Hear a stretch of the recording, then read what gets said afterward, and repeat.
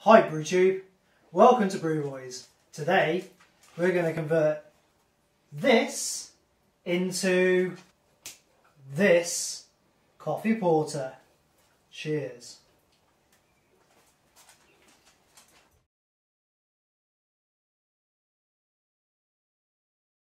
So today we're doing the Spellbinder coffee porter from the Malt Miller. Um, these are the ingredients. Simpson's Finest Pale Ale Golden Promise uh, crushed, uh, 4,150 grams.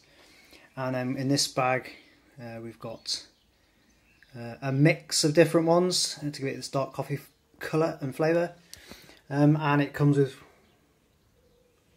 Magnum pellets, uh, Magnum hot pellets. This recipe also has 100 grams of whole coffee beans that go in um, at the end of fermentation. They smell amazing, so this should be pretty good. Uh, so that's the kit there, ready to go. So we're out in the garden today. Firm, Fermzilla down here, all set up uh, with 20, 29 and a half litres of water, um, slowly warming up 67 degrees. It's a lovely day to do some brewing. So now just measuring out the minerals um, because we're using demineralised water. So we've got 2.59 grams of gypsum, 2.59 grams of calcium chloride and 3.3 grams of Epsom salts.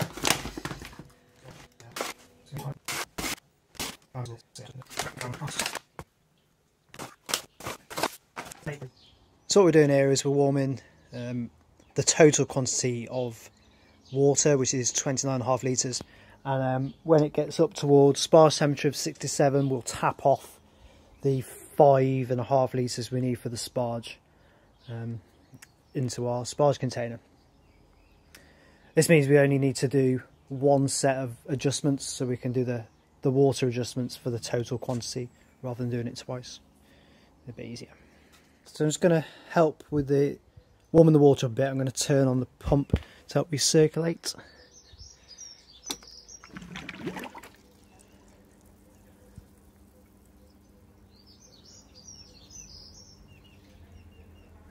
Okay.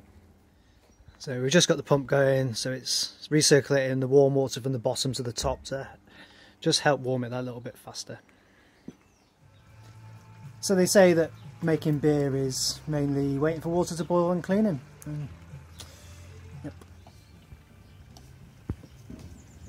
James is just just mixing the uh, different grains together to make sure we get a nice even mix. Quite a lot. That's a nine litre tub. We've only got half it in there.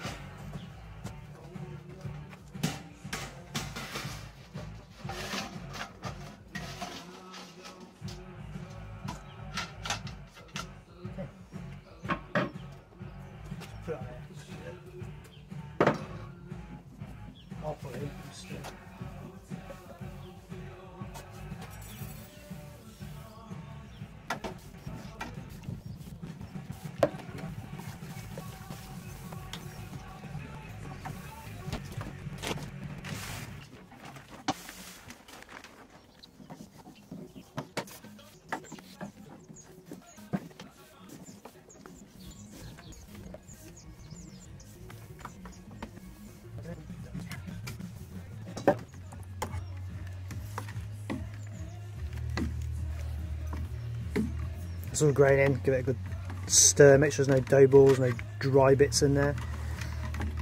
I think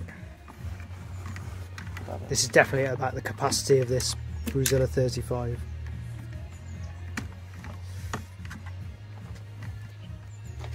Once we're happy, we'll get the recirc going. So, top screen's on, it's recirculating, um, and it is one hour at 67 degrees. Uh, that's bang on 67 with just a 500 watt heater on.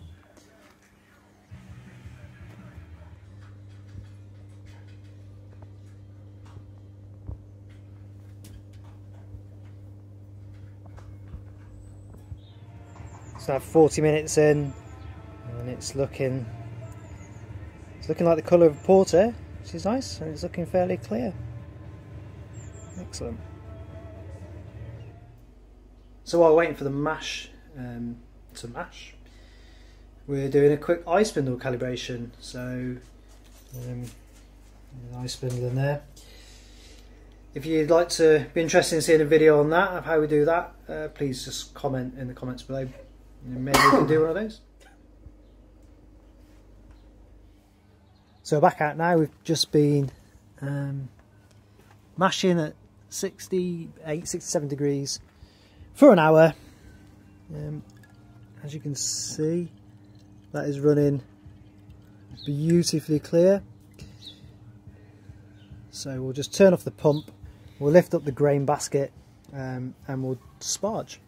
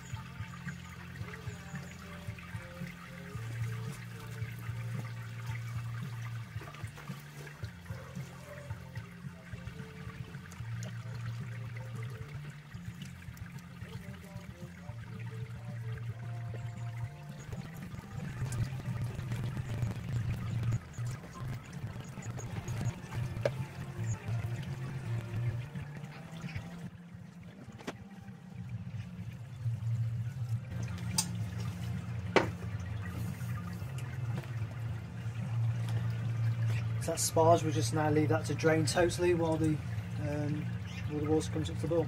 The water comes up to the boil.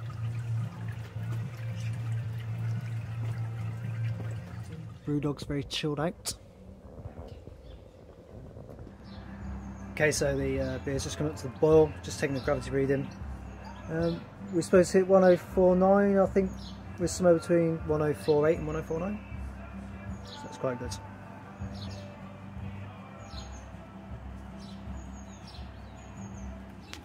So it's just come to the boil. I'm just recircling through the hop spider. Um, so hopefully any bits that are in there, any bits of grain will get trapped in the hop spider. This is my theory. Let's see if that works. Need to have homebrew or drinking homebrew. So have a glass of Muntons Belgian Ale. Cheers. This is just coming up to the boil now.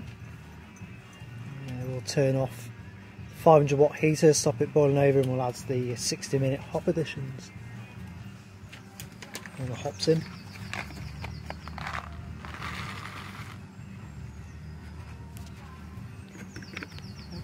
And we start the timer for an hour.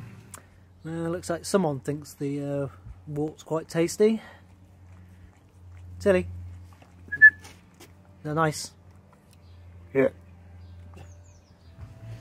Okay, so 15 minutes to go. Yeah, very good. With a Protafloc tablet.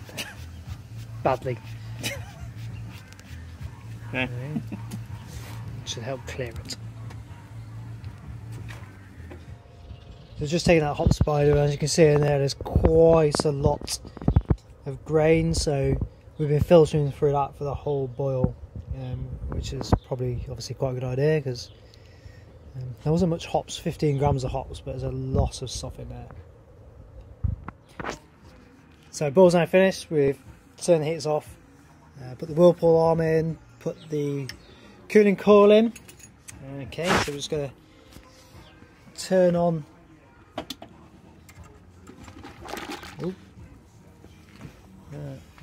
That's the whirlpool going.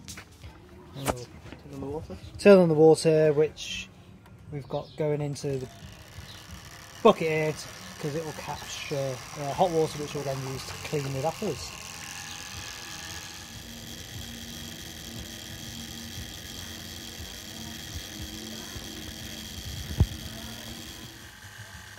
So we've been cooling now for about, know, maybe 10 minutes, down to 35 degrees. As you can see, we've gathered a bucket of the runoff water, which is at 47 degrees. It's really hot, so that will come in handy. Um, that's free hot water for helping to clean the bruiser. There's a bonus. So the Vauxhall cools. Um, it says 34 degrees, which is fine for me. Um, so to transfer it to the fermenter. You ready? Yep.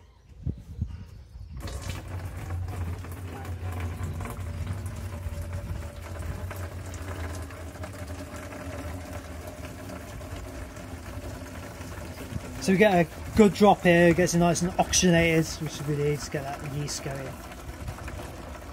Hopefully we get um, 20 litres predicted. We'll just take a gravity reading as well.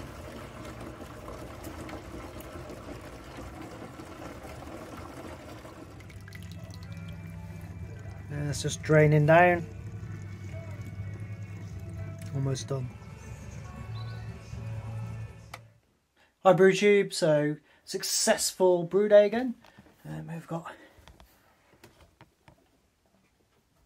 our fermentation vessel full of coffee porter.